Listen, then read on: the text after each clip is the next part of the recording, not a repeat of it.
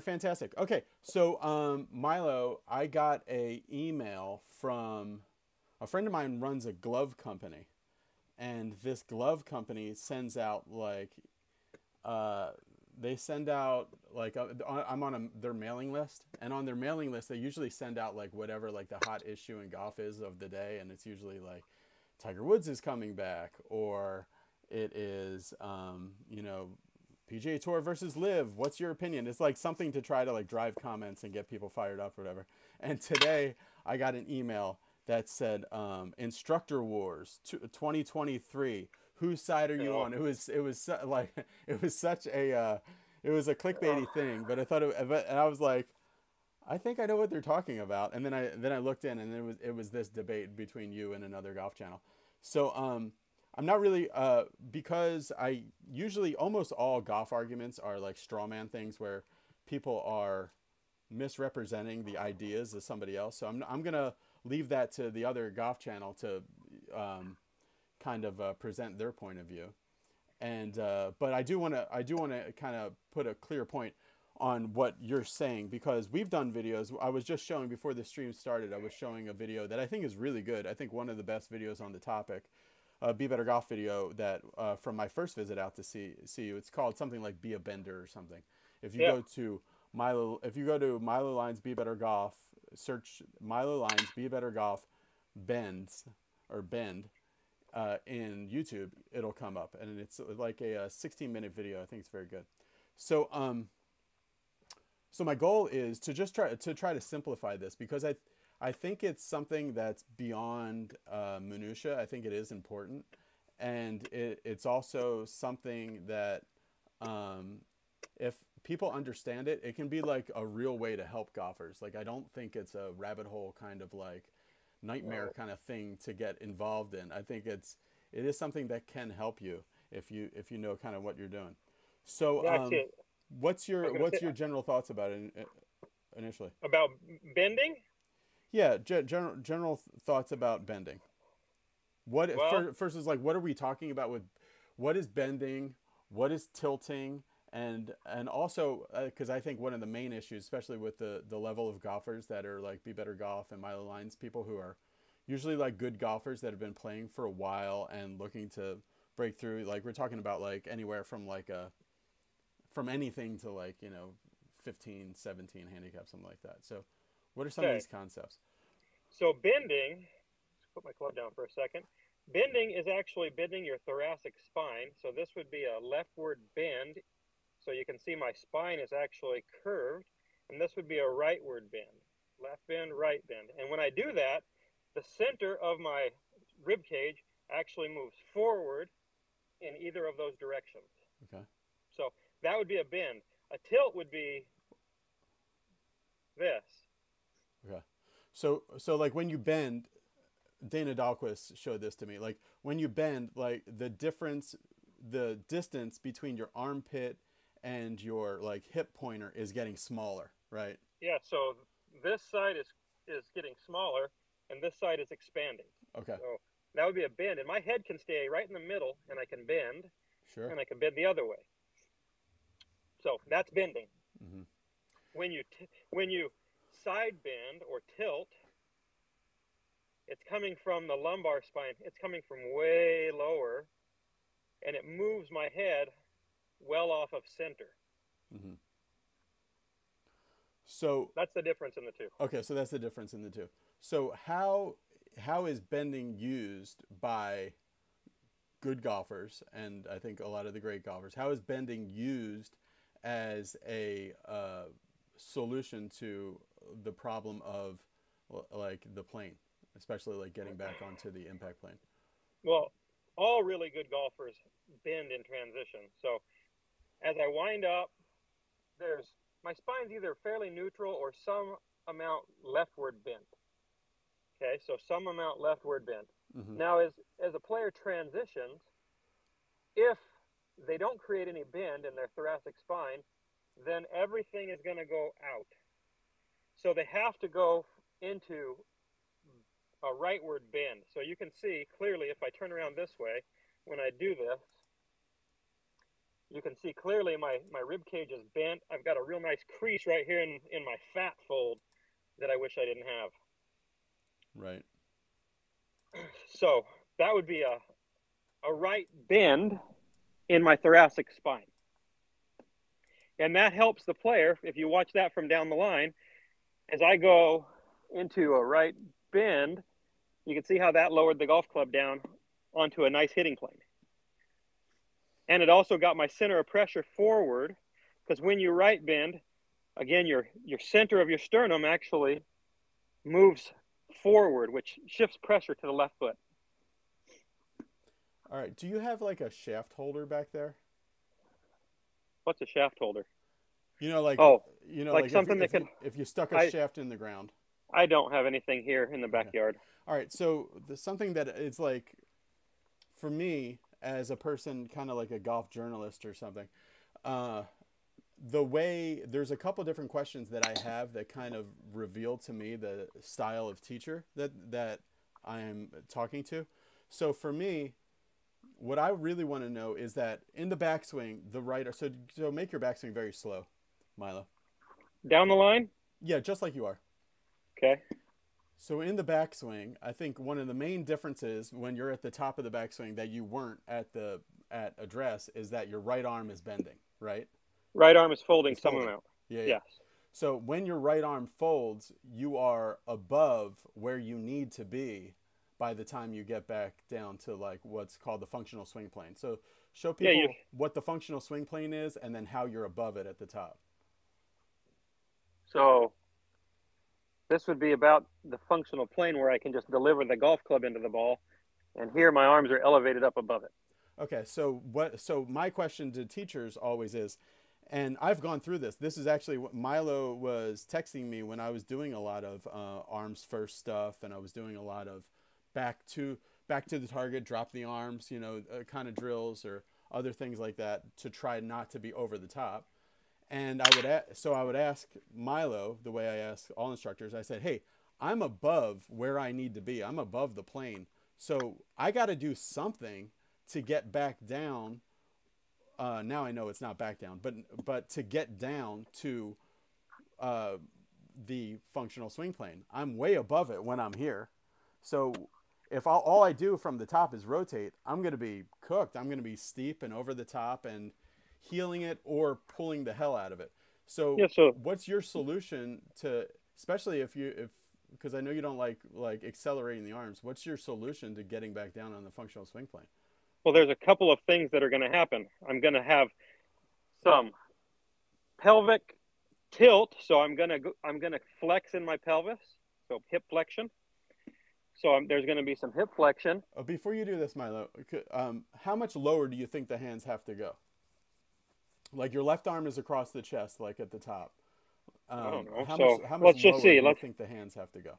Let's see. So a good impact for a tour player would look something like this. Uh-huh. Okay. Now, if I left that intact and I rewind it up to the top of my swing, they've got to go from here to there. What's up? Okay, the door's unlocked, but I can't talk.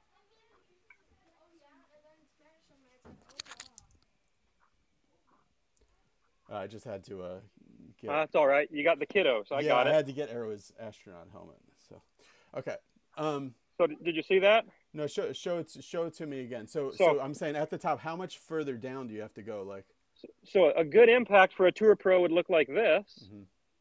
So if I wind this back up to the top without changing anything in my arm structure, my arms have got to go this much. okay, Yeah. So not very much. So all right. So, uh, how do you get the the arms to drop down that much? Well, momentum does most of it for you. So in transition, as I'm winding up, I'm winding the system up. Yeah. And as the club and my arms are finishing their wind up, my body is going to reflex. So I'm going to flex down.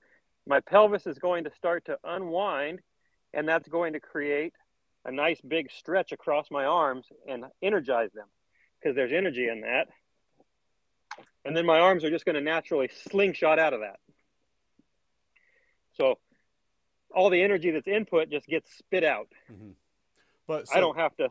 So you're doing a couple things in order to. So you're here. Your your arms we know have to go. You're saying from about here to about there, which is about yeah. eight inches maybe.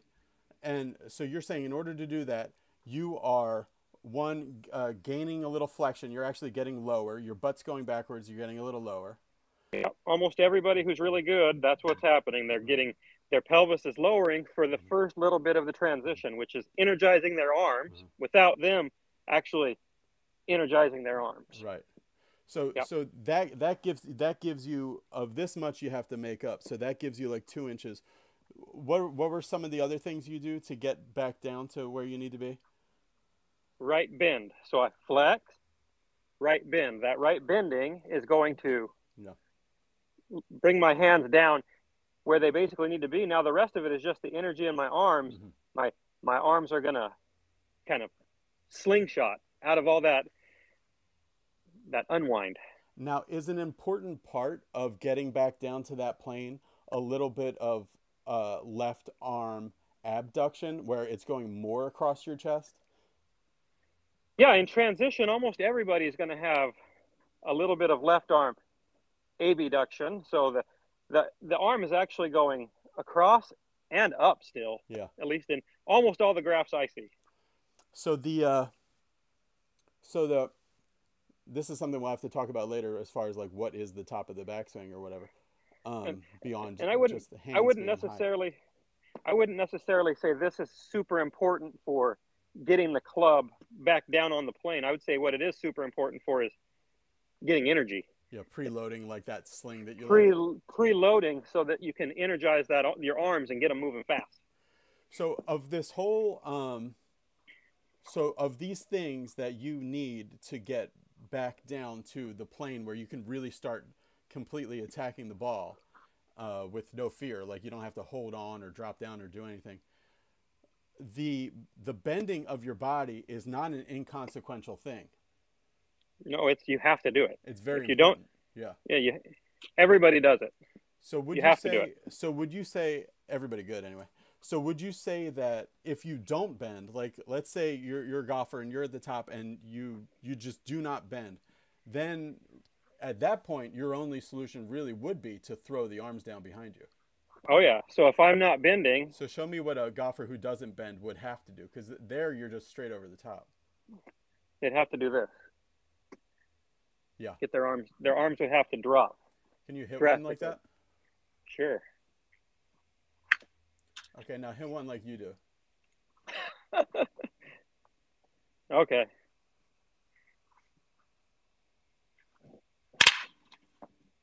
And I don't think it's like I don't think it's like a ridiculous pantomime. Even the one that you did, I don't think that that's like some kind of a clownish style swing or whatever. I mean, that's really a solution that you see some golfers using.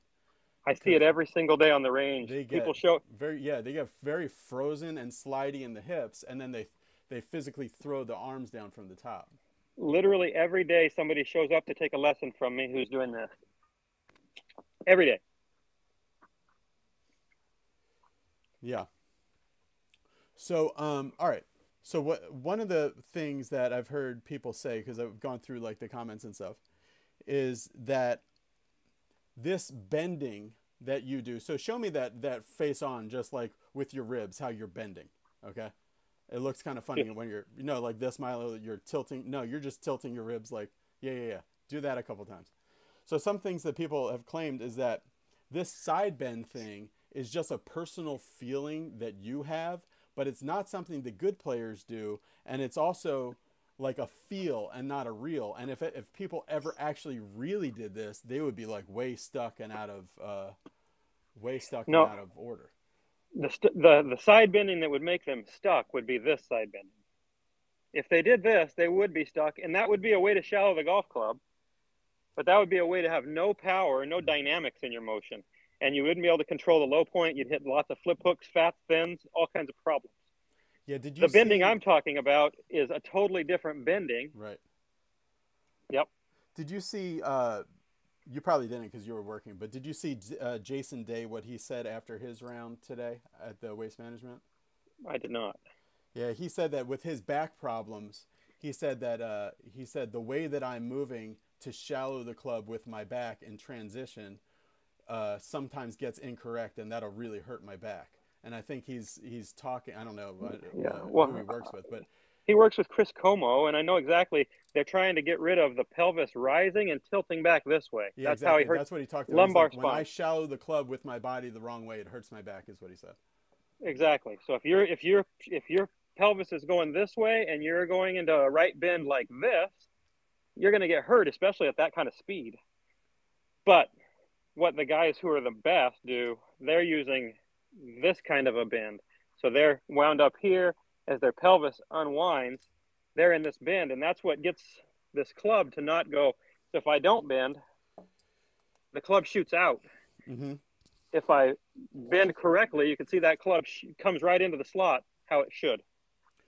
Okay, I one thing I wanted to ask you about was that um, with this bending, I've had I found uh, successes and pitfalls of both methods because when I first started talking to you, I was doing the other method uh, aggressively, and I had some success with it. But then that feel of arms dropping from the top, accelerating from the top, had had uh, I was told that it, it- wasn't it was really impossible to get them actually to do that but that feel would, would started to actually get real i was able to accomplish that I see it happen. I see it happen every day eh, on with students. So Yeah, a lot of people actually get their arms coming down. yeah you hear that your they're- body's going to react before that happens so you don't have to worry about it but Maybe if you're a good athlete, it might. yeah yeah that's what i've heard yeah that's what i've heard too with some guys that like really you know their body knows that's going to happen so it really starts gearing up for it so i had that and then also in a similar way now that I've, i'm trying to swing differently is i found it really difficult to um, bend properly in the swing when i'm trying to hit a golf ball. If i'm doing certain things like uh, i think something that everybody should do because it's something that i did that kind of uh, keyed me in on this is just get like a broomstick or something without a golf face, but uh, like a stick, and then get a cardboard box or a yeah, not even that Milo, but like if that uh, stick was half the length, or you just hold it at the end, and if you smashed something low on it, even holding it and just smashed something, and like kind of took a step and just smashed something, not even split grip or whatever, and and film yourself doing it, like getting angry. I I did this with uh, pinatas. If you Yeah. watch videos online of normal people hitting pinatas, kids and adults, and you know guys goofing around, or people hitting uh, sledgehammers to a low wall, or people hitting like chop, chopping a cactus to make tequila or whatever. Uh, you see you see this stuff happening, and you certainly don't see them leaving their back to the target and and dropping the hands. So that kind of convinced me that if I want to be want to do like it, it feels good to like get up and just completely smash something and uh, and it doesn't feel good to kind of like uh, wait and wait and wait and wait and then kind of like wait for it to plane and then swing. What are your thoughts on that? As far as like i know that you you you say swing like an athlete and uh, you have your baseball bat there. So kind of what convinced you that this bending way is the way to go? My say it again. My golf swing. okay. I'm I'm pretty I'm, I'm pretty good at hitting a golf ball, relatively speaking, and I got really good really fast. You know, I went from never having played the game to being a college player in a year. yeah So, you know, didn't have to learn a lot. And then just studying and watching what the, the best players are doing. Um, you know, I've spent hours and hours and hours looking at footage of golf swings and studying 3D. So, you know, once you once you see it, you, you know that's what that's what the best are doing. All right. So, um, okay. So something I wanted to talk about. This is something that we talked about a long time ago. So when I was first talking to Milo and I was asking him all this stuff, uh, a big revelation for me, and then not even beyond when I was talking to Milo, but when I really started talking to Dr. Kwon, you started thinking about like what what the, what the nature of a backswing is and what the nature of a downswing is. So to you, Milo, really when does the backswing when is the the the backswing kind of over and then the process of the downswing starting? It's a good question.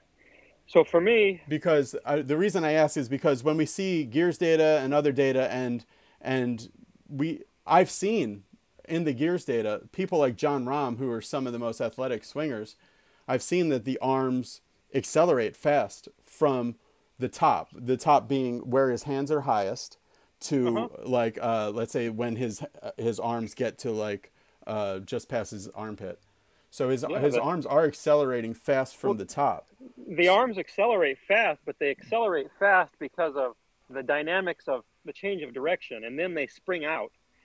So they don't they don't immediately accelerate fast.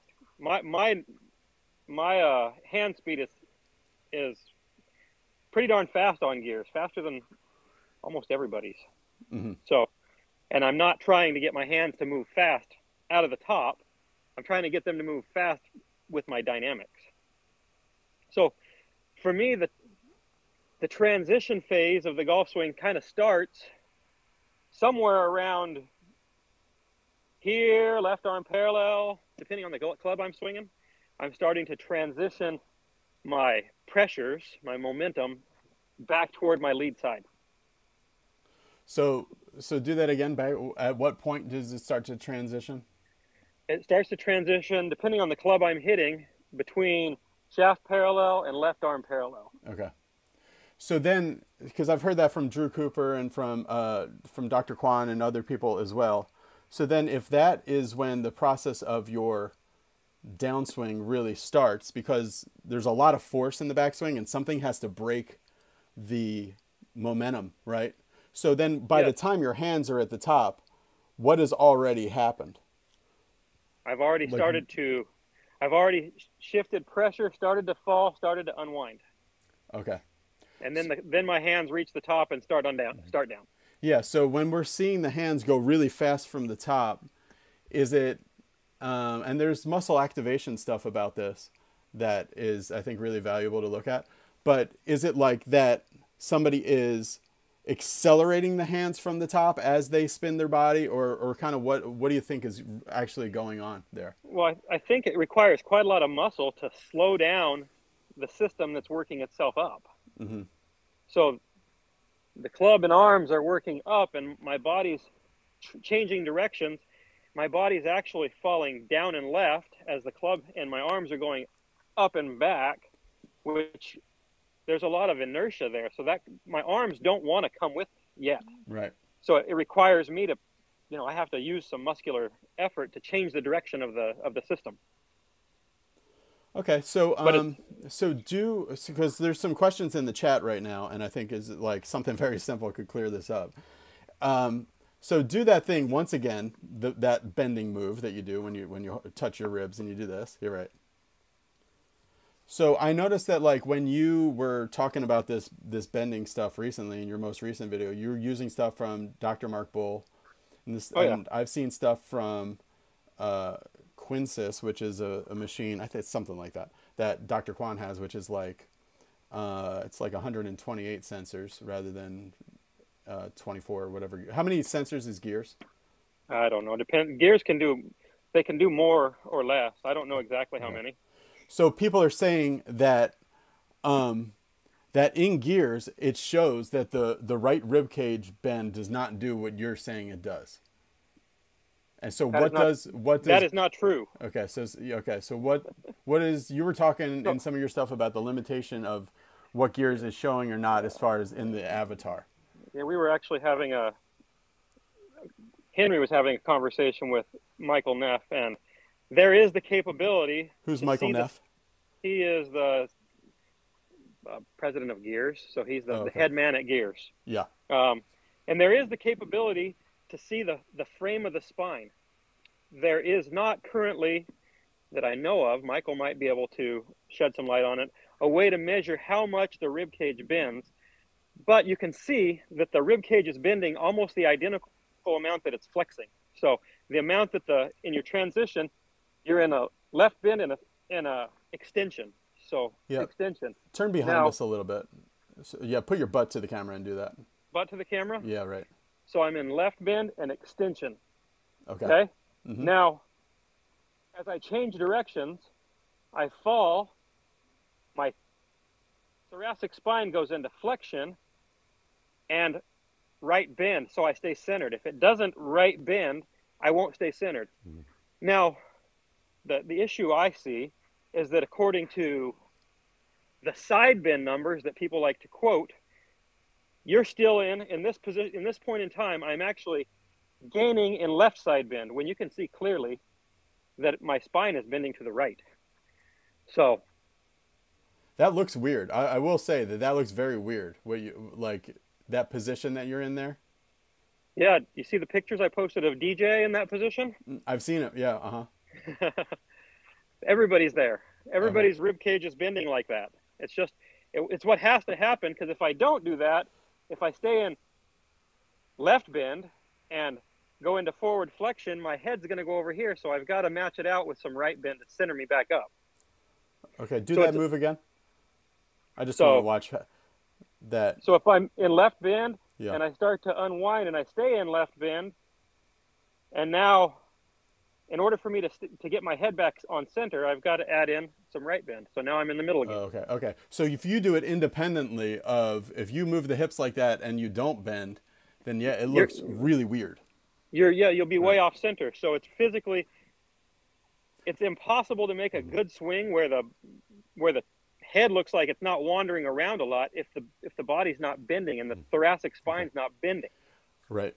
Okay. So one thing that um, I wanted to ask you because, like I was saying, I had difficulty with the like an arms-driven downswing. I have had difficulty as well with um, like being more bendy and using the bends to uh, shallow my swing and get me down on the functional swing plane.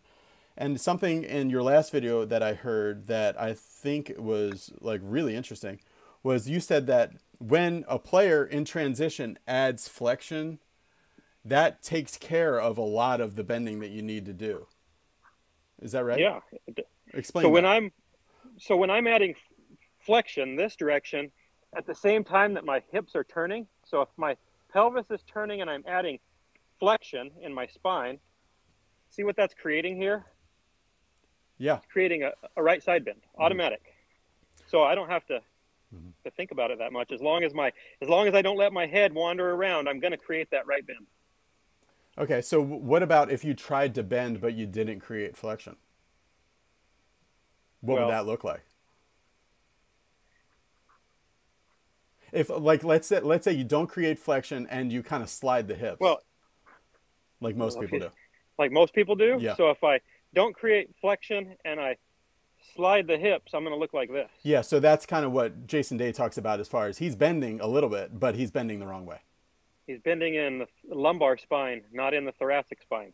Yeah, if you guys watch the uh, the Waste Management Open, uh, catch that. It was just a small. It's funny because these players don't really like to get too technical with Amanda or whoever's interviewing them afterwards, but there's just no other way for him to really explain it. So, sometimes every once in a while they'll drop these little nuggets, and uh, they're they're really interesting. Yeah, Patrick is one of the the uh, best uh, people about it, and Patrick is an interesting one because I met I played with Patrick and when I met him, and uh, right, it was like two years after he won his last major. He was very much a uh, keep the back to the target and drop drop the arms guy. Uh, yeah. And then Patrick um, saw George Gankas and he saw a bunch of other people, and I was shocked to see him in that bar, talking about you know he his mind was blown, talking to George and some other people about like you're saying I should do this and that, and then now he's uh, you know um, he's probably maybe the number two or number one Champions Tour player with a very different move. And he's faster now than he ever was when he was young. Yeah, he's So at he- like 180, what like his hardest of the year, like 183 or something. Yeah, he, he's going over 180 ball speed, which is that's Yeah. really rare for a guy in their 50s. 51 or something. It's it's Yeah. and uh, and he's not hurting himself, which I don't. Which uh, so talk about that a little bit because there there will be people to say that oh well the reason I do this uh, this way or that way is it's safer. Is is bending like this dangerous? Bending like this, no, it's actually the safer way to move if you do it right. if you do, if you try to bend and you go like this, then you better just swat at it with your hands and arms, and you'll that'll be better. but if if you have the mobility in your thoracic spine, then bending like this is actually safe because it actually gives you less side bend numbers at impact. Down here where we want to have our side bend matched up to our rotation more or less and i prefer to see more rotation than side bend. But so if i'm more lateral and sliding i'm going to wind up with less rotation and more side bend numbers and which is harder on your back. Side bend numbers where where you get side bend numbers from so if you're looking at like gears data or any 3d motion 3d capture what they're measuring is the, the actual tilt the bend here. And so we want to make sure that that never exceeds the amount of mm-hmm. rotation. Oh, so there's a there's a function or there's a little line item on gears that will tell you side bend. Yeah, they'll tell you side bend. They can't measure. But it's really you're saying it's really side tilt and not side bend. Exactly, and it doesn't. It, Show me the difference real quick. I just want to make this super clear. So side tilt, side bend. Okay. So if I did this, gears would would say I was in neutral. It would say this is neutral, neutral. So when I, but it would there there's a way to read it. I I, I know that there is because I've seen the markers. They can actually see the bending of the spine, but I don't know. There's not a number that signifies those that.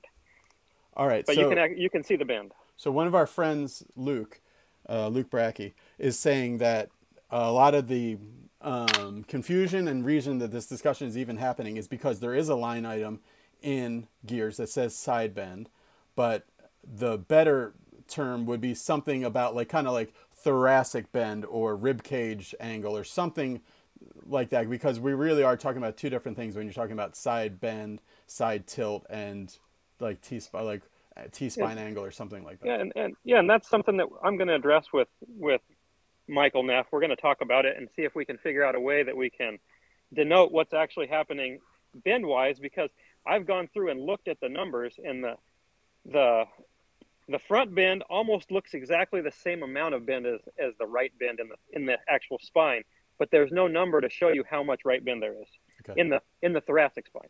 So if people want to look this up for themselves and like look at golf swing videos to start seeing uh, the bends of great players, Follow Luke Brackey. Oh, yeah, yeah, he's he's on uh he's on uh Instagram. But no, uh, like what angle do you think shows it the best? Like if we're like scrubbing through YouTube looking. If you could find aerial, aerial's really good. Uh, rear view that's slightly off to the, you know, away from the target, kind of over there. Yeah, like it's really good. Seven o'clock or seven, uh, eight o'clock position. Yeah. Yeah. Also, you can see them pretty good from, like, if I'm hitting it back at you and the camera was right over here, you can see the bend. So yeah. anything that's looking at it from behind, you can really see. Aerial is really good though. If you can get a nice aerial view, you can see it real clear. Okay. All right. So something that I wanted to bring up because this is uh, something somebody else said. So then there's a list of all these anecdotes that that people who don't who don't like uh, because the conversation kind of starts off with bends, but it, but it seems like the underlying conversation is really what you should do from the top of the swing, you know. So um, so and a lot of people. The issue we run into is there's good players that do all of it. There's good uh-huh. there are there are Hall of Famers who hit it with an arms golf swing like that. There like are the, like the body follows the arms. Yeah, there, there's guys who do that, but there's but then, Morgan. like we hear a lot of people, we hear a lot of Hall of Famers and great golfers. Like um, there was a, a period of time when Tiger Woods was was going to the top, stopping, throwing the arms down, then following the body. That's that famous um, Tiger Woods and Butch Harmon video number two. Yeah, but he never did that actually. He did that as a drill, but he never actually. So he did during that did that as during a correction era, for overdoing something else.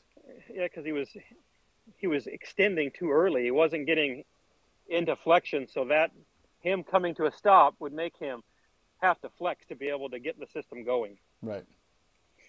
So then, so then, and also we hear like uh, Bobby Lopez used to do this with me because um, his swing philosophy, and he would always say like, okay, uh, Davis Love felt like he was um, pounding a stake into the ground. Sergio felt like he was ringing a bell. Nicklaus felt like the hands would get to the club before the buttons on his shirt, um, or the club head would get to the ball before the buttons. Like all these different anecdotes that these great golf and and then but then if you look at these guys in slow motion, you see this beautiful ground up sequence. Like these aren't even like so much like drop the hands slidey guys. So yeah, we're talking about like elite athletes who Yeah.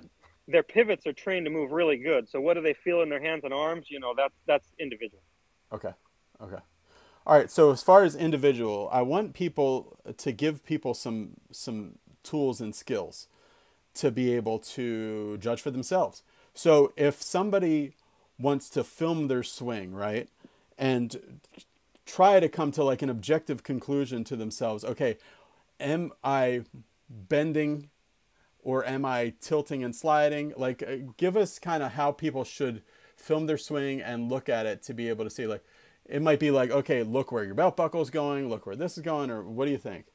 So I like to film from all different angles first of all, and then when you're watching your golf swing, pay attention to what your your belt is doing in the transition. So if you're and where your rear is going. So if your rear end is going back and your belt's coming down and your chest is coming down as you're starting to unwind, then you're you're getting into flexion and you're bending. Mhm. If you're if you see immediately your right side shooting up and out, then you are doing the opposite and you're going to be tilting. And you're probably going to get hurt. So Milo, if you look at like uh, like some of the the longest players and like the the most consistent hitters right now, how many of them percentage wise will have some kind of flexion before they start uh, bringing the hands down? All of them, Like hundred percent. 100%. So show me what they're what what one hundred percent of these players are doing again. Sorry for all the repetition. I, I wanted to get it exactly So- right. They're falling some amount. Mhm. So they're adding a little hip hinge and they're falling Yeah. into their legs. Yeah. Their chest is coming down. So not All not, of 'em. not not all of them necessarily get you like you know how they talk about the how important the tush line is. So Yeah. not all of them really get back or beyond that tush line, Not or all do them. they? I'd say almost all of them begin there, and then some of them have a little bit more lateral motion and slide, and the, and a little more extension. You know, that's that's definitely a pattern we see. But all of them get more bent over. Yeah, all of them. It, as they're getting ready to to bring the golf club to change directions with the golf club, they are going to fall some amount into the ground. That's the only way you get enough pressure into the ground to hit it hard. Okay, so we gave people a really good skill to as far as to to film themselves and look and see if you're doing that little move that Milo says 100% of uh, great hitters do. Now, Milo, if people like see that they are basically they're at the top and then it looks like uh, something else. Bob, Bobby has a lot of great sayings. He says it looks like they get kicked in the pants before they they make their downswing and they get a little taller actually. Yeah, exactly. So it looks like someone's coming and kicking you right in the pants. Um, so if they see that, what's like a good way to start building? Like I'm not even talking about like necessarily bending like as much as you are, but like starting to get that flexion that might put you in a position to actually bend the correct way. I'd say the first thing you need to do is is address how they're winding the system up. So they need to feel like they are elongating the trail side so that they have somewhere to fall into. Because a lot of times I see people doing these kind of things because they've loaded up incorrectly. If they can learn how to load the system up, stretch the trail side out a little bit, now it's really easy to start to flex and fall, and it'll be pretty natural. Say that one more time. Somebody wrote a message. I just had to write that.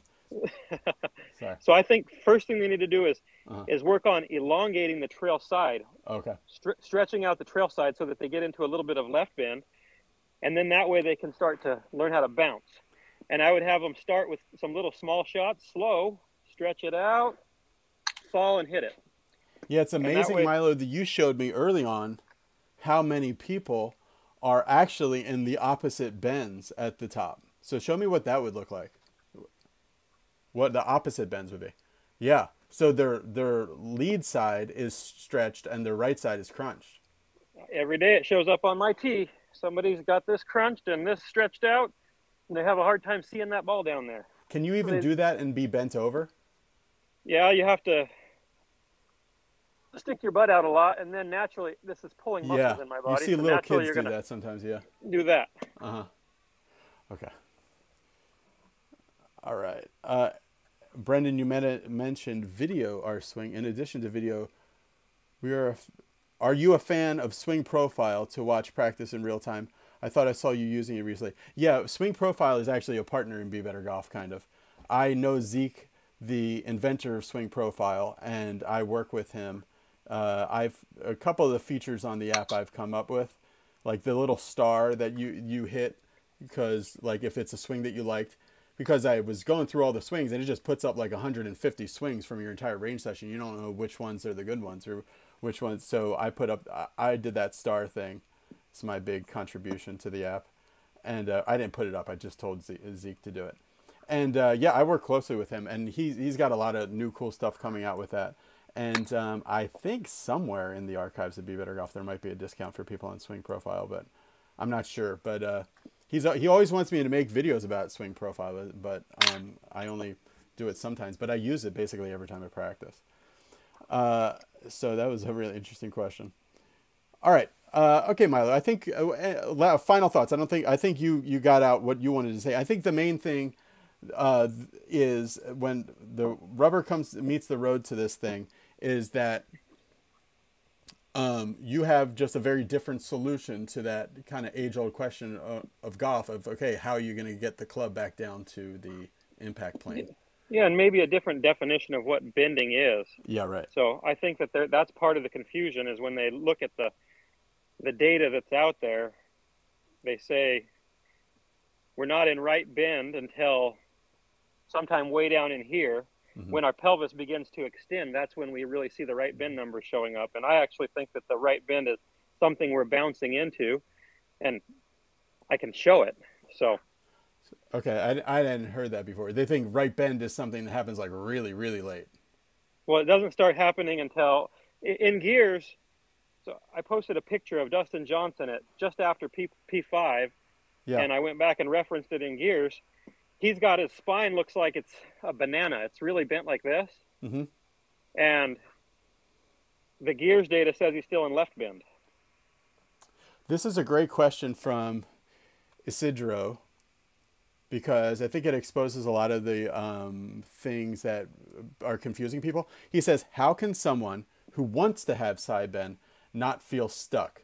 I think a lot of people are saying, Hey, if you're telling people to do side bend, eventually they're going to actually do it and be stuck. But it's not that, or is it?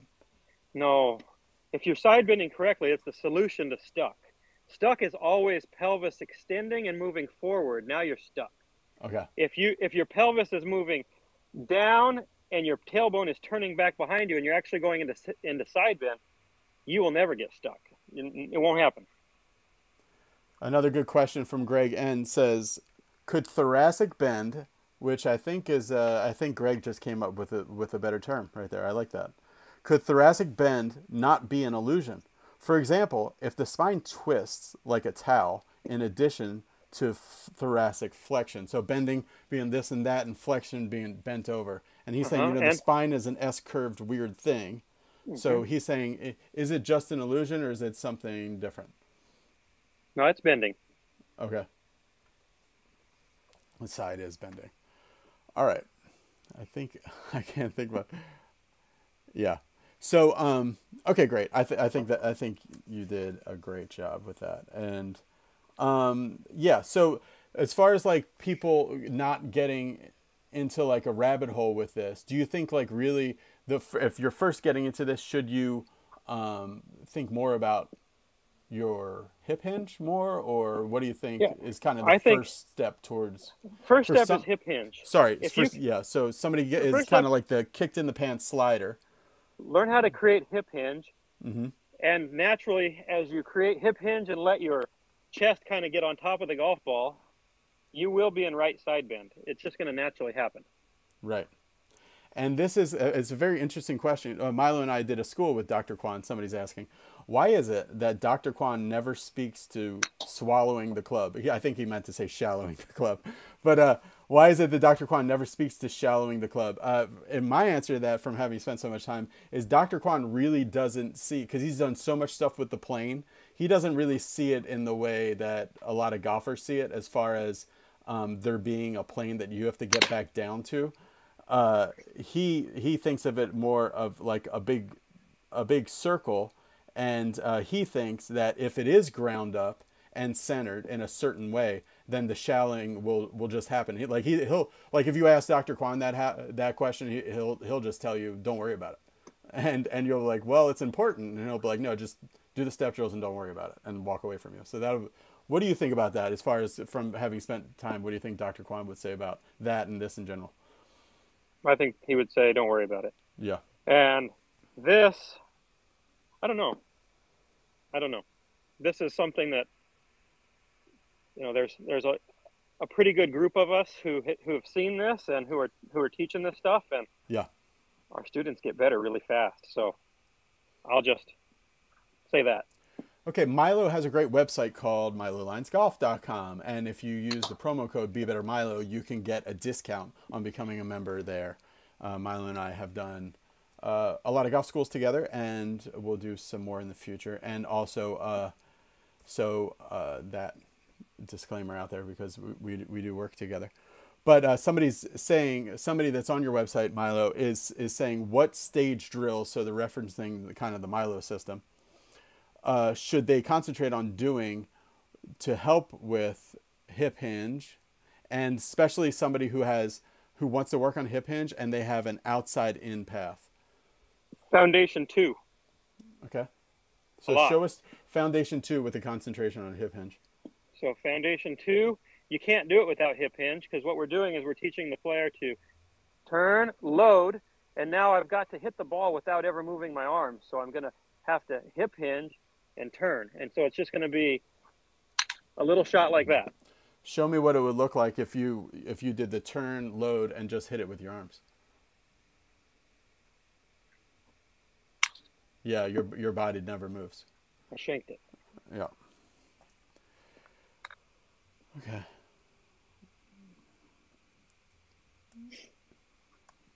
Okay. Uh, doesn't okay doesn't adding hip hinge with the shoulders further rotated than the hips put you into that right bend? I don't I don't get. Maybe you understand that question more than I do. Yeah. So if I'm What's rotated. Yeah. So I'm rot- my shoulders are rotated further than my hips. Yeah, your hips are. I, they always say like your hips are at a 45, shoulders are at a 90. As you add hip hinge, your hips automatically start to unwind. So square when I'm up. here, yeah, they'll square back up. So as I add hip hinge, and my chest is turned farther than my pelvis is, I'm in, I'm automatically going into right bend. It just it happens. Now I'd say that some of the right bend is actually dynamic. So I'm actually loading. I'm using my my core to create speed. So some of it is actually I'm, you know, I'm loading myself up and I'm dropping hard. Yeah. And I'm, I'm using my, my mass to hit that ball. How does this relate to, um, how does this relate to the thing that we heard a lot about in like 2019 as far as uh, a lot of coaches were saying leave the hands up leave the hands up what does that mean and, and does it how does that relate to this especially like you wouldn't think like if i want the hands to go fast why am i leaving them up because most what we coaches tend to see with players is that they swing back and their first move is to start the hands down. Oh, okay. So if you start your hands first, like most amateurs do, that would be like an amateur move. That would be a good reason for you to feel like your hands are staying up so that you can now turn into your arms and get them to sling out. That, that's the reason. Okay. And do you find that like when people try to like uh, when you tell people like all right leave the hands up leave the hands up the hands then steepen and get over, or how do you keep them like? Almost never. Oh, oh really? No, almost never. So generally when I when I'm getting people's arms to to still be working up and slow down in transition, you almost never see them go this way with it Okay. because well we're remember we're, we're always teaching everybody to to add hip flexion and right bend oh, which Okay. you can see that lowers everything down right where I want it. Oh, okay. So the key with leaving the hands up is leave the hands up and add flexion and get kind of get the body down and the butt back. You got it. Yeah, got it. Got to get the body down and the butt back, so then you can use your legs to come up back- back out of it later. Yeah. Um, somebody's asking if you have a swing coach, Milo. Do you? Nope. Have you Hey. ever have you ever taken a lesson? Um, a few, but from college coaches, but mostly I've been my own coach hmm and my own researcher, and but I've been around lots and lots of good coaches. You know, I I worked at Red Ledges up in Utah, and we had a Jim McLean school, so I worked with Jim, um, then Mike Malaska, and you know, lots of lots of good coaches, and so I've formulated my ideas from things I liked about what they did, and and things I thought that weren't Right. quite on the money. And you think the reason you got good so fast was one, you're like you're like a very athletic person, like any kind of sport you pick up very real quick. But two, it's because of how your dad made you grip the club, and then your history with baseball. yeah, I I learned to I learned to use my my baseball swing to play golf with, hmm and so I did never I've really never changed it all that much, other than for a, a year or two I somebody talked me into a different grip and that really screwed me up because my patterns were all designed for what I do. So the grip you have now is kind of the grip you started with originally. It's close. I don't know if I've ever found my way back to the exact same grip, but pretty close. Uh, do you have pictures of, of your grip or golf swing back then from then? I have one video, actually about two videos from the first year I learned how to play. Oh, I'd like to see that. Yeah, that'd be cool. It's on my Instagram somewhere years back. Oh, okay. Yeah. I found it in a I found it in a box of old VHS videos. You know, I, I, learned how to play before there was cell phone video and stuff like that. So Right. Right.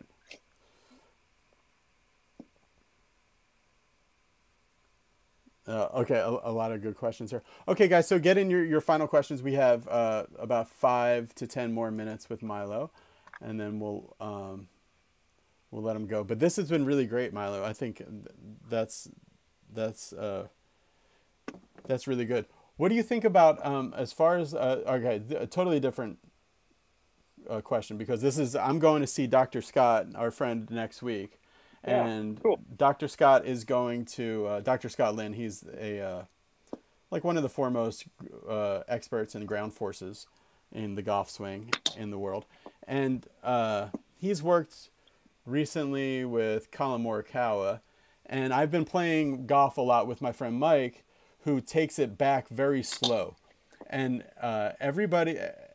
Uh, everybody I've been talking to recently is talking about the benefits of a dynamic and fast backswing and how a fast backswing leads to greater braking forces, which leads to a faster downswing. So it's like, you know, I'm really trying to rip it back fast. But when you do that, you um, can get kind of like lose control and sloppy, which is a problem of mine. So I'm what I want to ask you about is how can we like because I'm seeing some benefit to taking it back slower, but it is like making me like a club and a quarter shorter. Um, Yeah, so- so it's like so how do you how do you de- develop a player's speed of backswing and like kind of how cautious and careful to be on the way back? it's hard. I let their natural rhythms kind of dictate. Some people are naturally kind of slow, and other people are kind of quick paced, and so their their natural rhythms are going to dictate a lot of that.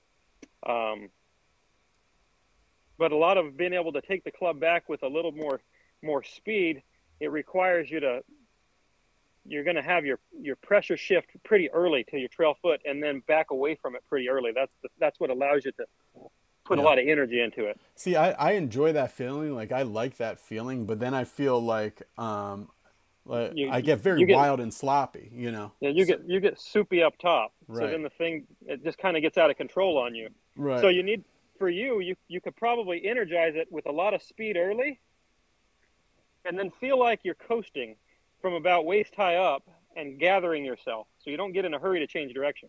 Mhm. So you can feel like you you energize, coast, and then Yeah. send it. If you keep that energy all the way up to like ear high with your hands, you just don't have enough time to stop it put the- without you- you- making it go uh, wild. Now you're talking long drive type motions, and you know, So you're just so you're just coasting from like pocket high all the way to the top.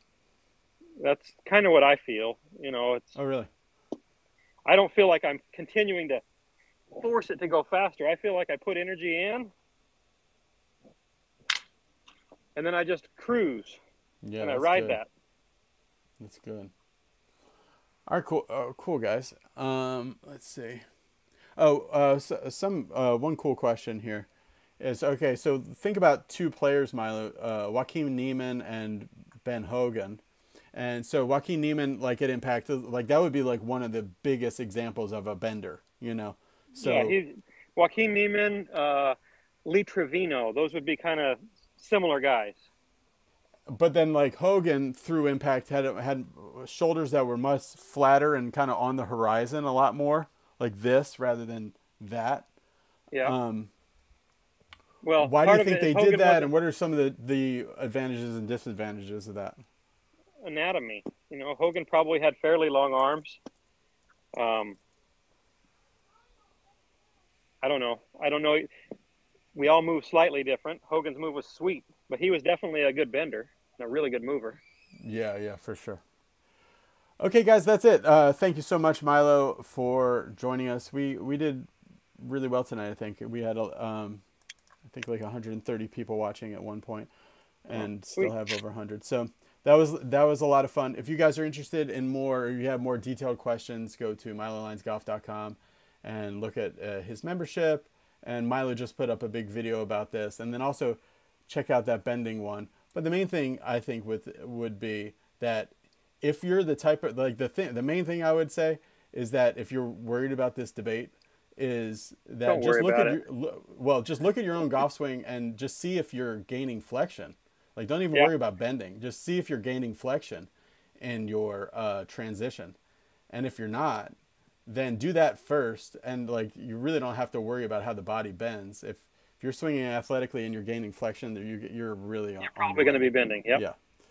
Okay, that was awesome. Um, yeah, and there's some uh, some other good points. So thank you so much to everybody that that logged on. Like I said, be sure to click the subscribe button. Also, in the description to this video is Milo's channel. Uh, subscribe to Milo's channel, Milo Lines Golf here on YouTube. But uh, click subscribe on this video because and the little bell, or else you'll never know when I go live and do things like this. I told Milo I was going to do this about um, an hour and five minutes before we actually did it. So uh, you got you got to be you got to be really somebody who has hit the bell to to get in on this. Thanks for watching, everybody. Bye. Hold, hold on, Milo.